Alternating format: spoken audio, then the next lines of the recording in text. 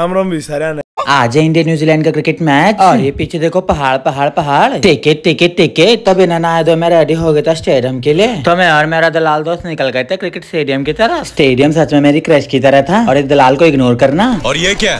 ये world cup और यहाँ पर हमें मिले सचिन सर के सबसे बड़े फ़ैन और हमने उनके साथ सेल्फी भी ली।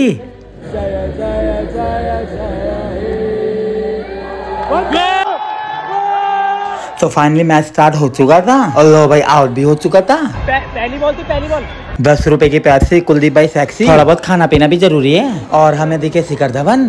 डुप्लीकेट है क्या? लग तो रहा है। भाई अच्छा खासा मज़ा आ रहा था लेकिन उनकी विकेटें नहीं हो रही थी। तो मैं टेंशन में आ गया थोड़ा।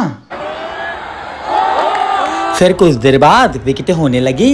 शामी भाई की बॉलिंग ने तो मज़ा ही बाँध दिया था। और हमारे कप्तान साहब थोड़ा गुस्से में लगे। चलो भाई इनकी इनिंग खत्म हो गई। अब बारी हमारी इंडियन टीम तो भाई दोनों बैट्समैन अच्छा खेल रहे थे। तो बोल्ट को देख के मुझे धक धक होने लगी और ये तो अच्छा है कि विलियमसन भी नहीं खेल रहे थे। तो भाई अफसोस के साथ कहना पड़ा रोहित शर्मा आउट हो चुके थे।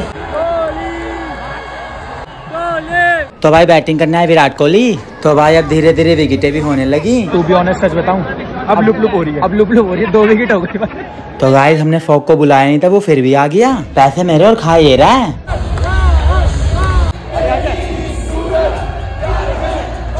चलो भाई, विराट कोहली की फिफ्टी हो गई। लेकिन मुझे तो हंड्रेड देखनी थी। और अफसोस वो हो नहीं पाई। बट क्या ही कर सकते हैं, मेरा तो दिमाग खराब हो चुका था। लेकिन उन्होंने 95 रन बनाए, ये भी बहुत बड़ी बात है हम लोगों के लिए। ये रहा विनिंग शॉट और हम मैच जीत गए। फाइनली हमने 20 साल बाद आईसीसी टूर्नामेंट में न्यूजीलैंड को हरा दिया। मैच के बाद मिले हमें विराट कोहली, वो राम के छोले भटूरों का वेट कर रहे थे। आप कमेंट में डुप्लीकेट लिख के कूल मत बनना बाय